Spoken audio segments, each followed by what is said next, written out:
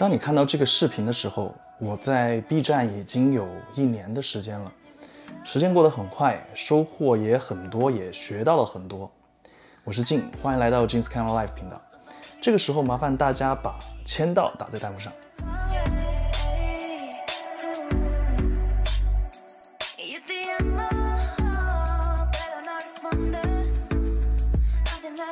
回想一年前，当时我知道 B 站。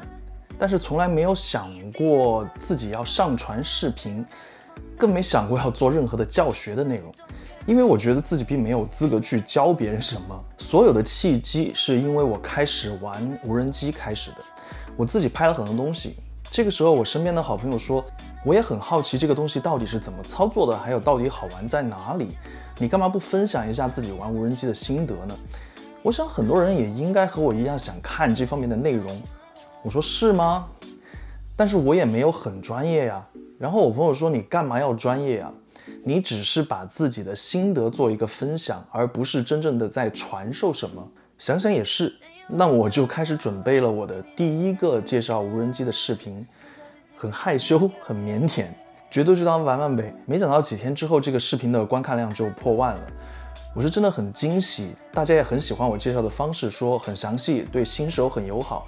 在这种情况下，我觉得仿佛自己在做一件很有意义的事情，和大家交流心得。同时，我也依旧在学习各种关于摄影方面的知识。因为本身我是做电影后期的，所以我也在想，除了无人机之外，我是不是可以也可以分享一点关于影视后期的知识呢？从哪里说起？也许剪辑和调色会是一个比较好的方向。果然，除了无人机之外，大家对于后期方面确实也是很感兴趣。我就是这么一步一步被大家鼓励着往前走。但是我毕竟没有所谓的团队，所以在有了一些人气之后，我发现恰饭的同时又要做自己喜欢的内容，变得有一点费劲。毕竟这个不是我的主业。我还是需要上班，除了周一到周五上班，周六还要写这个文案，周日来拍摄，所以基本上导致我一周七天都在工作。显然这么下去，一周两更确实是不太现实，所以我拉低了上传视频的频次，从一周两更变成了一更。只要不掉粉，还有人看，我还是可以慢慢的做下去。时间很快就一年了，粉丝累积到了五万多。也许对于很多人来说，五万多粉丝根本不算什么。但是如果仅仅是做教学内容上来说，一年时间累积到五万粉丝确实是不容易的。毕竟这个板块在 B 站上算是一个比较小众的板块，不比一个什么鬼畜视频动辄几十万的播放量。但是只要大家还愿意看，人数还在增加，我就有做下去的动力。有遇到过困难吗？当然有，除了忙之外。对于厂家需要我做测评的产品上，我遇到过一些对自身产品质量把关不严，我发现问题还不让说的厂家。既然不让我说，那么我就选择不做。我就算自己就是贴邮费，也会把产品寄回去。因为对于这一年积累起来的人气，我不愿意对不起信任我的粉丝们。除此之外，有时候有一些留言也会刺伤我。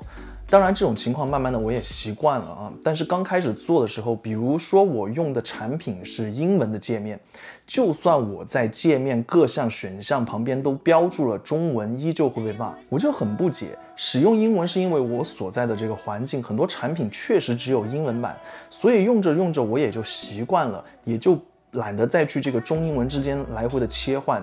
但是你说如果我没有在视频上标注中文，那是我的问题，导致大家看不懂，我就不明白，哪怕我标注了中文，也会被一些人恶意中伤。但是支持我的粉丝们会各种开导我，到现在我也就习惯了，因为真的是众口难调，就算你做的再认真、再真诚，也会有人曲解你的用意。那么我也就懒得去计较了。频道还在继续，但是最近有一点点达到了我的瓶颈，因为我感觉我已经把我会的东西基本上都已经分享干净了。也许换一种形式，不知道大家会不会继续看下去。当然，教学内容我还是会继续做，但是我也希望多做一些 vlog 的东西啊。除了分享我的生活，也希望你能从我的 vlog 中感受到一些拍摄的和后期的技巧和窍门。不知道大家会不会有兴趣观看呢？我们把感谢的话留在最后。现在想跟喜欢拍摄或者后期的朋友们一点小建议。为什么就算我很累，一周工作就算七天，我还在坚持做视频？因为人要持之以恒的做一件事情，真的是太难了。但是能将一件事情持续的做下去，你总会得到一些收获。我之前是属于那种做任何事情都是三分钟热度的人，不论是学习、生活、工作上都是，所以很难在某一方面累积下一些经验。但是 B 站教会我的一件事情是，只要你持之以恒的做一件事情，时间够久，你就会有收获。也许这个收获并没有你期望的那么高。但总归是你能在持久坚持这件事情上得到一些你意想不到的东西。很多做后期或者是摄影的朋友，评论也好，私信也好，都会告诉我，啊，坚持不下去了，太难了，玩玩就好。其实看到这些话，问问自己，每个人可能在人生的某一个阶段都对自己说过这些话，然后放弃就成了理所当然。但是如果逼自己一下，给自己一个时间段，哪怕是一年或者是半年，全力以赴的去做，可能结果也许并不是你想象的那么糟。这些年自己一个人在外面打拼，看到过太多放弃的例子，然后那些人的借口一样是太难了，坚持不下去了。其实有时候我们扪心自问一下，你真的全力以赴了吗？这些年我看的非常透彻的一点是。人很多时候都在假装自己很努力。也许你上午划水了一个上午，突然让你花两个小时做一个什么报告，或者是剪一个什么素材啊，就这么两个小时结束后，你会说：“哇，好累，事情好多。”我说的没错吧？然后你会催眠自己，觉得自己好像很努力了。其实你诚实一点看待自己，你努力了吗？你做的够多吗？当你给了自己一个借口去躺平，那么生活也会以同样的借口来回报你。后期或者是摄影，再或者是任何行业，当兴趣变成了工作，免不了你会觉得它无趣和没有干劲。但这个时候可能停下来想一想，自己到底想要什么，对未来的期望是什么？也许对你坚持下去可能会起到一点帮助吧，可能也会让你走出这个假装自己很努力的这个怪圈。最后，我想感谢一下这一年来一直观看我节目的朋友们。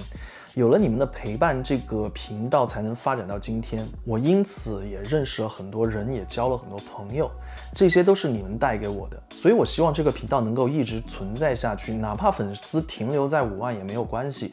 是你们的存在让我知道自己除了工作之外，我到底喜欢做什么。能一直持之以恒的做一件事情，真的是非常幸福的一件事情。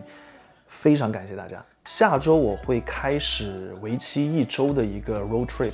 那带上了各种设备，比如说无人机啊、相机啊、不同的镜头啊、GoPro 啊、滑轨稳定器等等等等这些所有的器材，希望会为大家带来一支高质量的旅行短片。